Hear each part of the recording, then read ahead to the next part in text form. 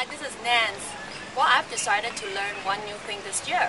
And I want to take photography a little bit more seriously because in the past I would have all the different kinds of uh, little digital cameras. You know, if you recall Polaroids, um, you know, the test shot, uh, when I was modeling, they used to sort of have a, a, quick picture and then you have a test shot. But So I have got all different kinds of camera and now I said I'm going to really take it seriously because like all things in life, I'm going to make it work, I'm going to practice, I'm going to review, you know, if I do it correctly.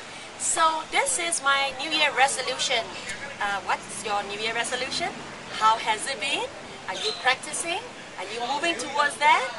Well, just don't be discouraged that everything starts small. It's one step at a time.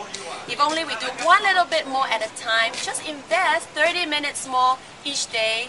I'm sure that you're going to get through your New Year resolution really soon. So all the best. Have fun.